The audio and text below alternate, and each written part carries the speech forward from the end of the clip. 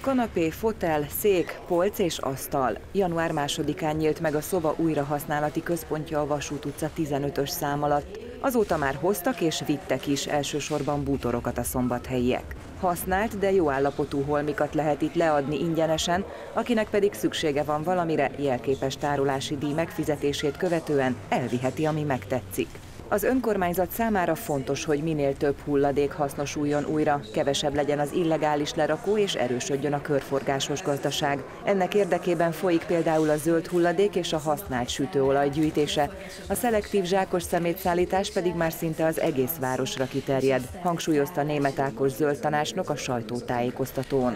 Ezt a célt szolgálja az újrahasználati központ is, hiszen itt a már megunt, de még használható eszközök új gazdára találhatnak.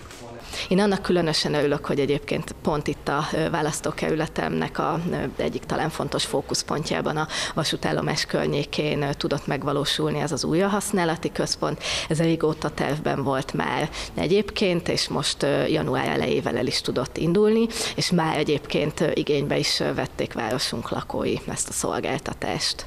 Bútorokat, szőnyegeket, dekorációs eszközöket, konyhai felszereléseket, könyveket, játékokat várnak. Elektronikai eszközöket és ruhát nem fogadnak használt dolgokat lehet behozni, amik az eredeti funkciójukra még alkalmasak, és viszonylag megkímélt állapotúak. Azért, mert mi semmiféle felújítást nem végzünk a bekerülő dolgokon, azok, ahogy jönnek, abba az állapotba lehet őket elvinni.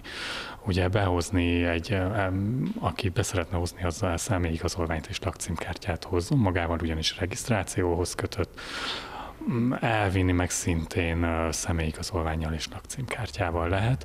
Amit tudni kell, hogy a készpénzes fizetés az nem lehetséges, csak bankkártyás fizetéssel lehet elvinni. A szóva munkatársai ellenőrzik a leadandó holmi állapotát, és ha az már csak hulladéknak jó, nem veszik át. A cég a Facebook oldalán fényképekkel illusztrálva közzéteszi és folyamatosan frissíti a kínálatot. Ami hosszú ideig nem talál gazdára, azt leselejtezik. Az újrahasználati központ hetente három napon tart nyitva, kedden és csütörtökön 16-tól 18 óráig, szombaton pedig 8-tól 14 óráig. A raktárépület a Nádasd és a Vasút utca felől is megközelíthető.